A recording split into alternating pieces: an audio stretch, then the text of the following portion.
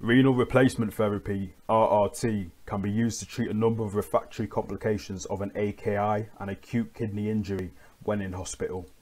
We can remember these indications simply with A, E, I, O, U, the vowels of the alphabet. A stands for acidosis, a severe acidosis that isn't responding to treatment, typically the pH being less than 7.1 to 7.2. E stands for electrolytes and specifically the high potassium that can occur with an AKI.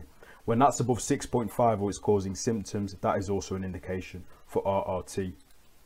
I stands for intoxicants, for example, salicylates, lithium and methanol. When they accumulate in the system, RRT can be used to remove these intoxicants. O for overload and specifically pulmonary edema that is not responding to treatment is definitely an indication for RRT. And U stands for uremia, not just a high urea, but also one that's causing symptoms such as encephalopathy or pericarditis.